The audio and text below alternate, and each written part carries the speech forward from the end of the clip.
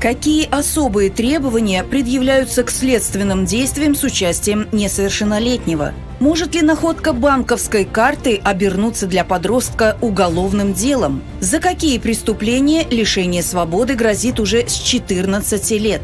На эти и другие вопросы отвечает заместитель прокурора железнодорожного района города Самары Александр Ганеев. Смотрите программу «Прокурор в теме» 10 июня в 18.15 на телеканале «Самара ГИС».